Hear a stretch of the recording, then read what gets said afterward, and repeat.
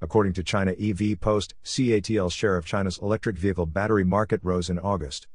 The company's power battery installed capacity was 15.45 gigawatt hours, giving it a 44.29% market share. Meanwhile, BYD's share slipped to 26.97%.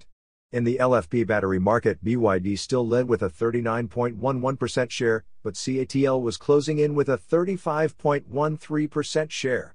For the global EV battery market from January to July, CATL held a 36.6% share, while BYD had a 16% share.